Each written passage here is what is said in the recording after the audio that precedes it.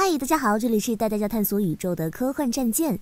今天星星继续为大家带来科幻剧集《黑镜之游戏测试》。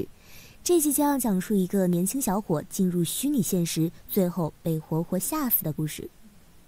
男主角库珀是一个背包客，这天他又收拾好行囊准备上路，路上母亲打来了电话，却被他拒接了。两母子的关系似乎有点僵。环游世界之后，库珀来到了最后一站英国。在餐馆中，他被隔壁打波的情侣撩得有点春心荡漾，于是也拿出手机约了一波。两人约在酒馆见面，库珀向妹子狂吹一通周游世界的经历。妹子心想：“哎，这小哥有趣啊！”于是两人当晚就滚了床单。醒来后，库珀的母亲又打来电话，但还是被他无情拒接。妹子询问他咋不接电话，库珀微微一笑：“你是急着做儿媳妇吗？”艳遇结束后，库珀打算回美国去了。但是当他买票的时候，却发现银行卡里居然余额不足。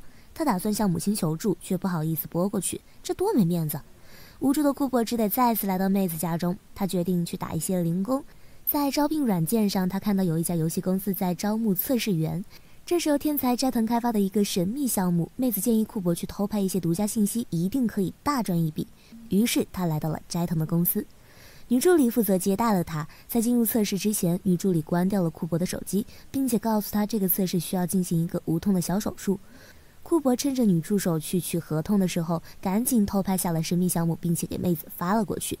很快，女助理就回来了。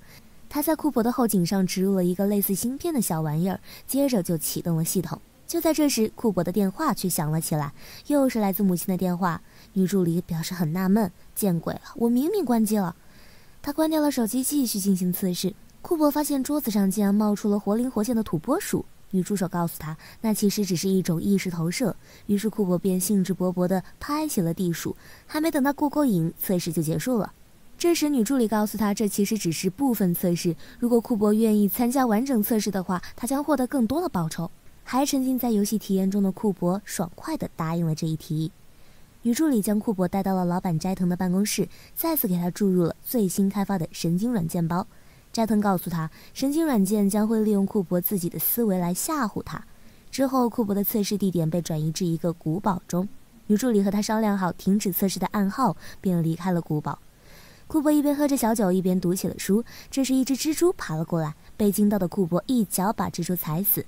看着空空如也的脚底板，这才意识到这只蜘蛛也是意识投影。还没等他平静下来，库珀又发现原本切的画居然亮了起来，里面似乎还有个人在看着他。库珀一个走神，竟发现画里面的人站在了他的面前。库珀被吓个半死，好在他很快反应过来，这个人也是虚拟的。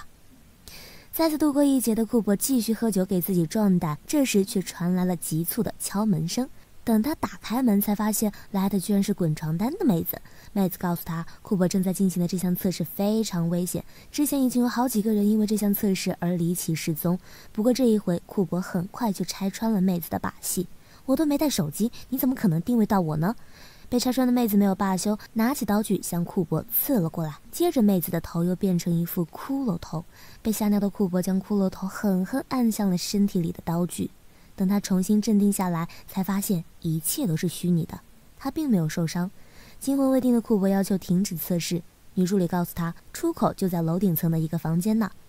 库珀打开房门，却发现那里什么也没有，原来是脑中的神经网络在耍他。精神崩溃的库珀打算用玻璃取出后颈的芯片，这时女助理和斋藤终于出现，阻止了他。但是女助理却告诉他，神经网络植入过深，无法取出了。就在库珀要被当废物处理掉的时候，他终于醒了过来。醒来的库珀发现自己仍在斋藤的办公室，而整个测试过程其实才过去了一秒。经过这番凶险后，他终于回到了家中，但是却发现老母亲变得不认识自己，而且一直喊着要打给他。库珀再次抓狂起来。这时场景再次转换，库珀和女助理又来到了第一次测试的房间，桌上又响起了母亲的来电。女助理这才说出真相，原来早在第一次电话响起的时候，整个测试就已经结束了。由于电话干扰导致神经网络出错，库珀的精神也随之崩溃了。整个过程仅仅持续了零点零四秒。